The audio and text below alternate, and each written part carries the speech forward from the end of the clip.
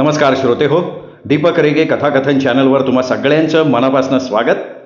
श्रोते हो आजपासून तुम्ही ऐकणार आहात संत श्रेष्ठ तुकाराम महाराजांची पत्नी आवली हिला केंद्रस्थानी ठेवून लिहिलेली कादंबरी. ही कादंबरी लिहिली आहे सुप्रसिद्ध लेखिका विजया ब्राह्मणकर यांनी. आज या कादंबरीचा भाग पहिला मी तुम्हाला ऐकवणार आहे. पण तत्पूर्वी तुम्ही जर आत्ता चॅनलवर पहिल्यांदा आला असाल किंवा अजूनपर्यंत चॅनल सबस्क्राईब केलेलं नसेल तर प्लीज चॅनल सबस्क्राईब करा. शेजारी घंटीचं चिन्ह आहे ते प्रेस करा. येणाऱ्या पर्यायातनं ऑल हा पर्याय निवडा. म्हणजे मी या कादंबरीचा भाग अपलोड केला माझ्या चॅनलवर की त्याचं नोटिफिकेशन तुम्हाला मिळेल ताबडतोब तुमच्या हातातल्या तुमच्या मोबाईलवर चला तर मग सुरू करूया श्रोते हो. विजया ब्राह्मणकर लिखित आवली तू होतीस म्हणून. भाग पहिला. टहॅ टहॅ असा आतून आवाज आला आणि आपल्या चौसोपी वाड्याच्या ओसरीत बेचैनपणे येरझाऱ्या घालणारी आप्पाजी गुळवेंची पावलं थबकली. चेहऱ्यावरील चिंतेची जागा आनंदानं घेतली आणि आत बघत ओसरीतूनच त्यांनी आवाज दिला काय? वाटायची का साखर? नाही जी गुळाची भेलीच फोडा. सुईणीचे शब्द कानी आले तसे आप्पाजी समजले मुलगी झाली. मागच्या अंगणात सुलाणावर पाण्याचा हंडा तापत होता. गुणा पाणी काढ साजरं गरम. बाळ बाळंतिणीची आंघोळ झाली. सुंठ गूळ मिरे घालून गरम काढा बाळंतिणीला देण्यात आला. हे सारं चालू असताना पोरीचं टॅහැ टॅහැ चालूच होतं. सुईणी निघाली तसे आप्पाजी म्हणाले सारं ठीक ना? हो जी पर पोर मोठी तेज पुऱ्या दिसाची झाली. एकदम कडक. निरा मासाचा गोळा नाही. यावर आप्पाजी हसले. मग ते अंगणातल्या लिंबाच्या झाडाखालच्या पारावर बसले. हिरवा कंच डेरेदार कडुलिंब वाऱ्याच्या हळुवार झुळकीनं हलकेच हालत होता. बाजूच्या गोठ्यातली गाय वासराला चाटत होती. आणि गावाबाहेरील जीर्ण मंदिरातल्या विठ्ठलाच्या ओठावर हसू होतं. कारण तुकाराम महाराजांची आवली आज जन्माला आली होती. बाराव्या दिवशी पाळणा साजला. पाळण्यावर राघू महिना होते. सतरंजा गोणे टाकले. गावातील थोरा मोठ्यांच्या बायका आल्या. अंगडं टोपडा घातलेला बालजीव पाळण्यात घातला. पाळणे म्हटले नाव ठेवलं गेलं आवली. आणि आवली घरादाराची लाडकी झाली. आप्पाजींचा तिच्यावर विशेष जीव. म्हणायचे पोरीचा पायगुण चांगला. आवली झाली आणि माझा धंदा भरभराटीला आला. सावकारीच्या धंद्यात बरकत आली. लेकीचं करण्यात आईला दिवस पुरेना. तशी ती गुणाच्याही अंगावर चांगली झाली होती. आवलीच्या हसण्या रडण्यानं आप्पाजींचा चौसोपी वाडा आनंदून गेला. गोठ्यातल्या गायींच्या गाळ्यातली घुंगरं वाजायला लागली. कोंबड्याचं आरवणं कानी आलं तशी आवलीची आई उठून बसली. आवलीच्या अंगावरची गोधडी नीट केली आणि ती बाहेर आली. अंगणात साडा घातला झाडून काढलं. चार रेघा रांगोळीच्या ओढल्या. गुणाचा शेणगोठा चालू होता. त्यापूर्वी तिने चूल पेटवून हंडा तापत ठेवला. आवलीच्या आईनं पाण्यात हात घालून बघितलं पाणी तापलं होतं. हंडा दोन्ही बाजूनी कापडाने उचलला. न्हाणीघरातल्या तांब्याच्या घंगाळात हंडा रिता केला अंघोळ पूजापाती आटोपली आवलीच्या रडण्याचा आवाज कानी आला. उठली ग माझी सोनुली. असं म्हणून आवलीच्या आईनं तिला उचलून घेतलं. मग दूध पाणी आंघोळ काजळ तीट करून आवलीला आप्पाजींच्या स्वाधीन केलं आणि ती स्वयंपाकाला लागली. आप्पाजी ओसरीतल्या पेढीवर बसून काम करत होते. त्यांच्या बाजूला रंगीबेरंगी चिट्ट्या पट्ट्याच्या तालगीवर आवली हातपाय हलवत होती. कधी मध्येच पालथी पडत होती. आप्पाजींचं तिच्याकडे लक्ष होतं. आहेत का घरी आप्पाजी? दिंडीदारातनं आवाज आला. गुणानं दिंडी दरवाजाकडे बघितलं. गोऱ्या थापणारे हात थांबले. पांढरा कुडता पांढरं धोतर डोक्याला पांढरा फेटा. फेट्यातून जरा दिसणारे पांढरे केस. कोण पाहिजेल अप्पाजी आहेत बाजूच्या नांदीतनं पाणी घेऊन गुणानं हात धुतले. आप्पाजी बाहेर कोणी आलंय? मग पाठव त्यांना याजी पण आपण मी भाट. असं म्हणून भाट ओसरीत आला. या या या बसा बसा बसा. आप्पाजींच्या समोरच्या गादीवर लोडाला टेकून भाट बसला. कसं काय येणं केलं? अप्पाजी काय बी तुमचं? आता भाटाले काय अवतान द्यायला लागते? वर्षा दोन वर्षातनं फेरी होते. मग आवलीकडे बघून भाट म्हणाला नवा जीव. अहो मुलगी. बाई चोपडीत नाव चढवावं लागायचं. हो चढावं लागेल. भाटानं बस्त्यातनं चोपडी काढली. बाई रांधणीच्या दारात उभं राहून गुणा म्हणाली बोल की आवलीची आई म्हणाली. बाई बाहेर भाट आले. हे बघ बसव त्यांना गुळपाणी दे मी येतेच आहे. हातावरची भाकर तव्यावर टाकत आणि तव्यावरची भाकरी चुलीजवळ निखाऱ्याशी उभी करत आई म्हणाली गुणानं मग एका वाटेत गोळाचा खडा आणि पितळेचा तांब्या भांड ओसरीवर बैठकीजवळ आणून ठेवलं. भाकरी दवडीत ठेवून त्यावर पालव टाकून आई रांधणी माजगर ओलांडून ओसरीत आले आणि ओले हात पदराला पुसत पेढीजवळ येऊन आदबीनं उभी राहिली. डोक्यावरचा पदर नीट केला. खणाची हिरवी चोळी आणि लाल जरीच्या काठाचं लुगडं ती नेसली होती. गळ्याशी काळ्या मण्यातलं डोरलं मोहनमाळ एक दाणी आणि हातात पाटल्या. नमस्कार करतो आई. आई हसली मनाशी. हा भाट वयानं माझ्या वडिलांच्या वयाचा आणि मला नमस्कार करतोय. तुमच्या लेकीचं नाव चढवलं चोपडीत. बेस केलं. हो वंशावळ देवाचं आमचं काम. हातपाय हलवता हलवता आवली तिथेच झोपी गेली. तिच्या आईनं लुगड्याची चौघडी तिच्या अंगावर टाकली. भाट सारखा पुन्हा पुन्हा आवलीकडे बघत होता. काय बघताय भाटबुवा तुम्हाला भविष्य कळतंय? ठाऊ काय मला. लय नाही उल्लीस. काय आहे पोरीच्या नशिबात? पोरगी तेच आहे. भाग्याची आहे. खरंच?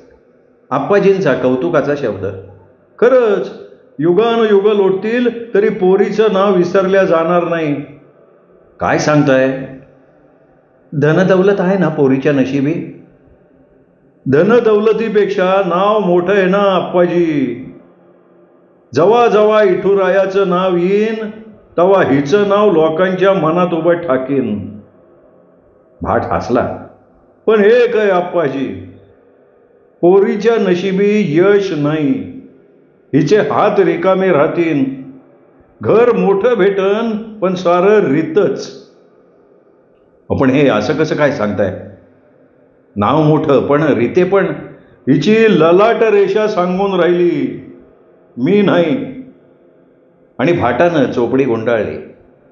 पुन्हा एक वार भाटानं गोधडीवर झोपलेल्या निरागस आवलीकडे बघितलं आणि म्हणाला एक ना एक दिवस असा उगवल का हिचं मोठेपण जनमनात रुजल खरंच रुजल.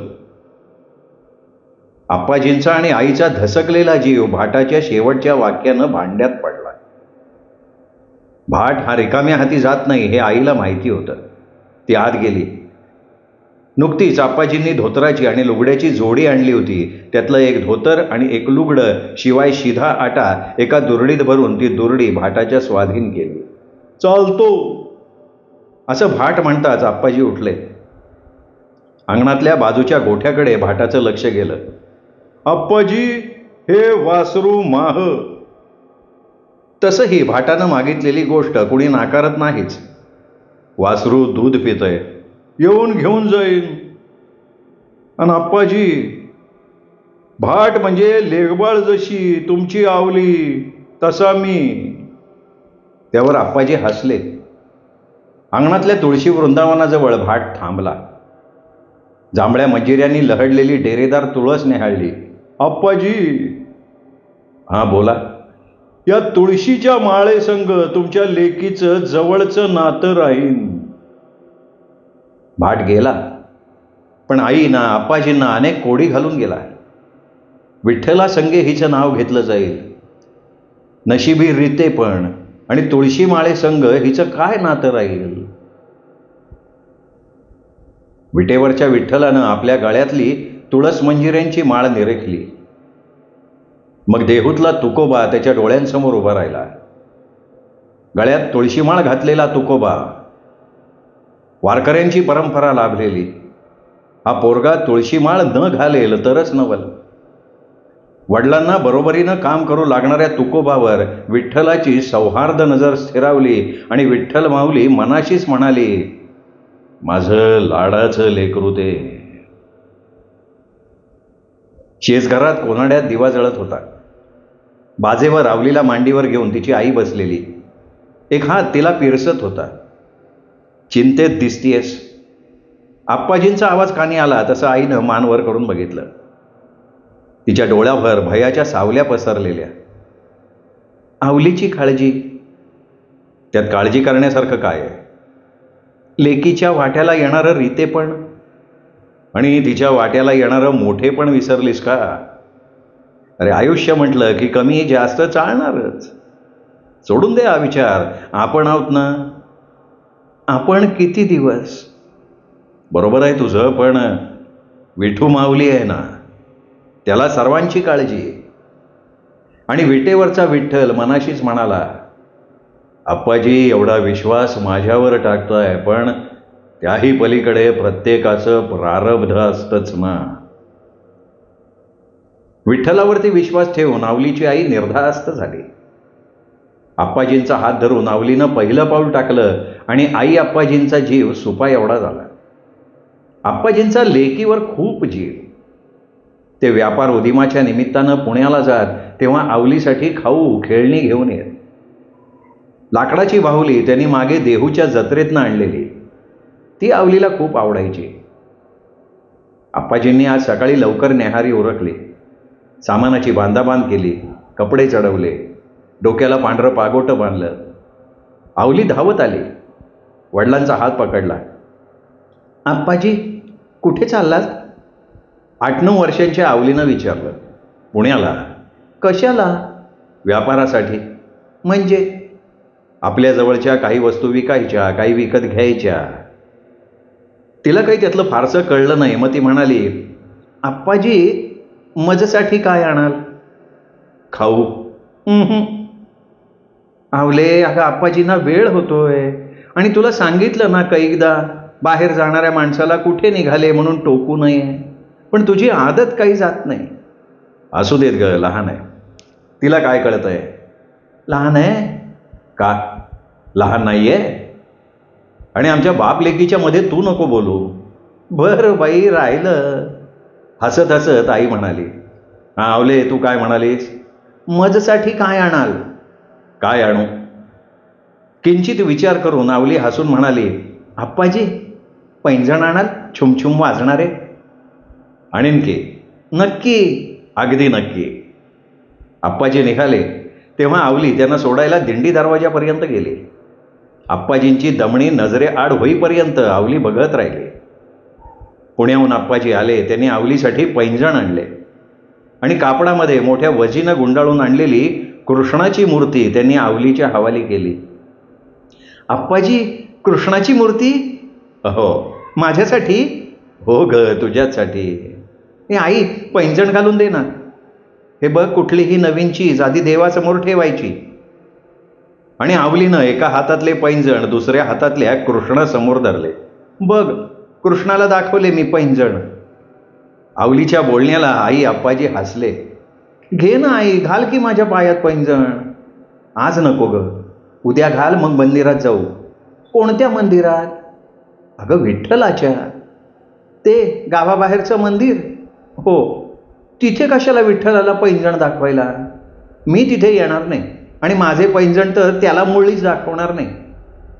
अगं पण का? मला नाही आवडत तो. कोण? तो काळा देव ग. त्यापेक्षा मी ह्या कृष्णाला माझे पैंजण दाखवीन. दाखवीन काय? दाखवलेच. चल घाल बघू पायात पैंजण. मला मैत्रिणींना दाखवायचे आईने आवलीला पैंजण घातले. आणि हातात कृष्णाची मूर्ती घेऊन आवली बाहेर निघाली. तिच्या पैंजणांच्या छुमछुम आवाजानं आप्पाजींचा वाडा निनादून गेला.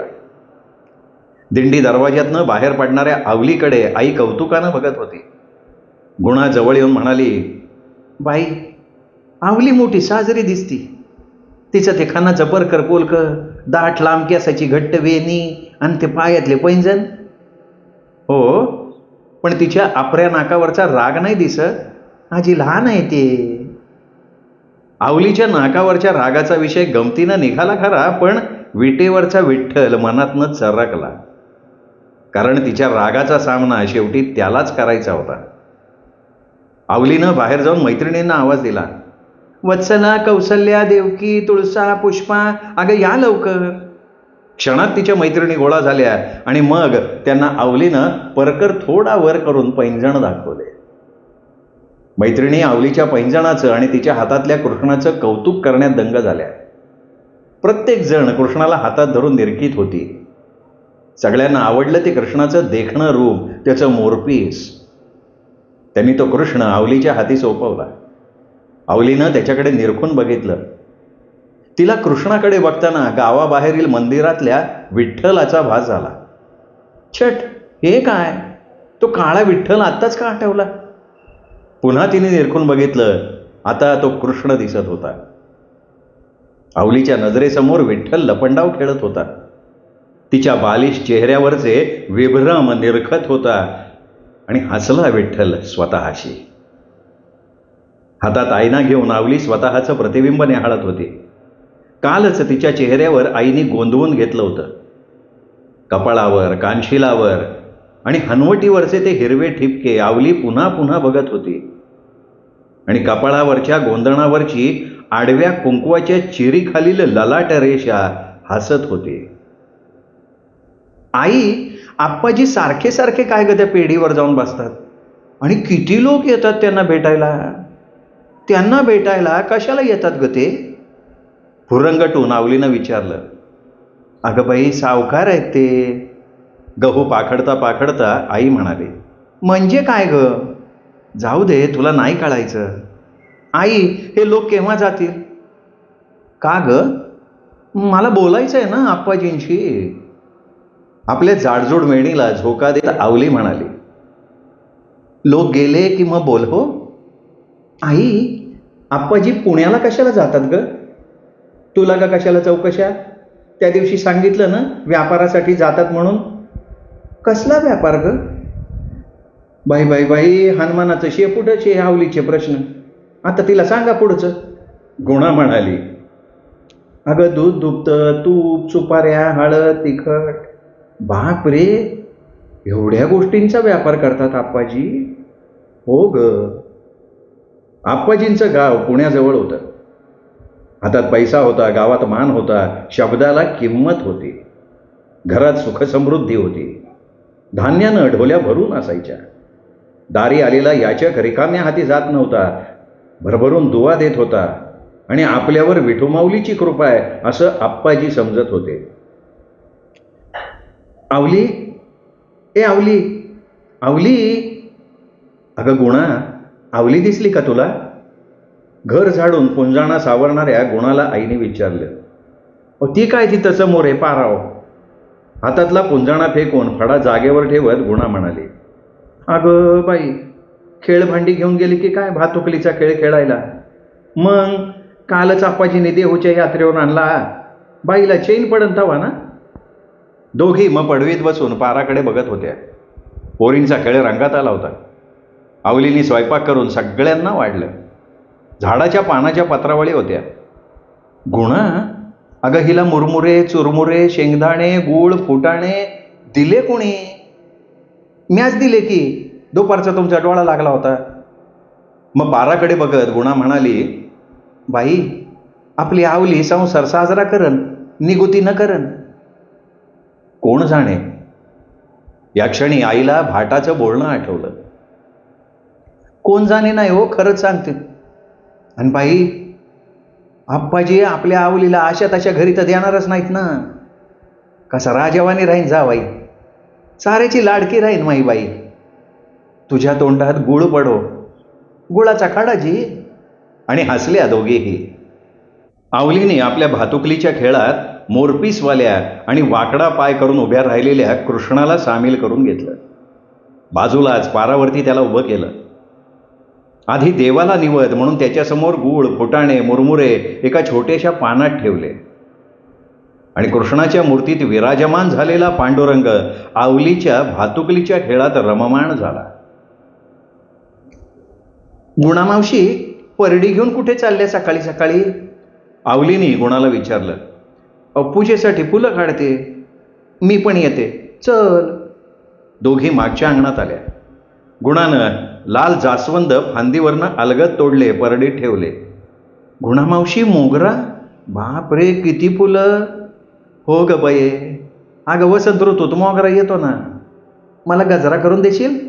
हा दिन की. असं म्हणून मोगऱ्याची दळदार फुलं खोडायला लागली. आवलीने इकडे तिकडे बघितलं. एका बाजूला तुळशीचं बन होतं. तिने काही जांभळ्या लांब मंजिऱ्या तोडल्या. निरखल्यावर या मंजिरीवरचे बारीक बारीक किती मोती किती साजरे दिसतात. मनाशी चावली म्हणाली. कणेरावर गुलाबी फुलं फुलली होती. तिने मग उड्या मारून कणेरीची फांदी वाकवली फुलं तोडली परडीत टाकली. मावशी होईल की ग? अगं जास्तीची फुलं निघाली तर विठ्ठलासाठी हार करीन म्हणते मंजिऱ्यांचा आता त्याला कशाला? आणि मोगऱ्याचा गजरा मजसाठीच. त्याला हार घाला की फुलं वाहा तो कुठला साजरा दिसायला? का ग तू त्याला सारखी हिनवत असती? तुझं काय भांडण बिंडण आहे का त्याच्या संकट भांडायला तो मला भेटलाय कुठे? भेटायला तो काय कोणाच्या दारोदारी थोडा जातो? तो आला ना तरी मी दार उघडायची नाही. पावले तुझं हे लटकं भांडण आणि लटकं रुसणं मला भारी आवडतं बरं. विठ्ठल ओठातल्या ओठात पुटपुटला. तू काही म्हणालीस का ग गुणामावशी नाही बाय. मग आता तोंडातल्या तोंडात पुटपुटलं कोण? आवले काय पण बाय तुझं. गुणा फुलं तोडण्यात दंग. मोगरा चांगला डवरून आलेला परडी भरून गेली. आवली विहिरीजवळ गेली. खेराडीजवळ घागरीला दोर बांधलेला आवलीनं घागर खेराडीहून विहिरीत सोडली. पाणी चांगलंच खोल गेलं होतं.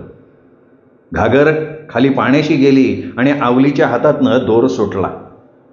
गुणामावशी काय? मागे वळून बघत गुणानं विचारलं. घागर पाण्यात. कशी? सुटला दोर. कसा काय पण झटकाच बसला की ग हाताला? नाहीतर घागरी संग मीच आत आता ग बाया प्यायचं पाणी घ्यायचं होतं. आता घागर काढण्यात वेळ जाणार. घागर पाण्यात बुडाली घरभर वारता गेली. आईनं चांगलीच कारदावली. कोणी सांगितलं ग नसते धंदे करायला? उचापती मिली? आता हे कामात काम आडकाम झालं का नाही? आवली इवलसचं तोंड करून विहिरीच्या काठाशी उभी होती. अगं रागवतीयस काय तिला? मग रागवू नको तर काय पूजा करू? गळ आणलाय मी आत्ता काढून देतो घागर. आणि चूक आपलीच आहे आवलीची आई. दोराचं टोक खेराडीच्या दांड्याला नाही का बांधून ठेवायचं? हो आप्पाजी दोर बांधायला नको. आप्पाजी हसले. गुणा आई आवली विहिरीत डोकावून बघायला लागले. आवले विहिरीच्या दूर हो. आता पुन्हा विहिरीजवळ आलीस ना तर माझ्याशी गाठ आहे. आप्पाजीच्या गळाला दोर अडकला घागरवर आले. आवलीला त्या क्षणी आप्पाजी देवासारखे वाटले.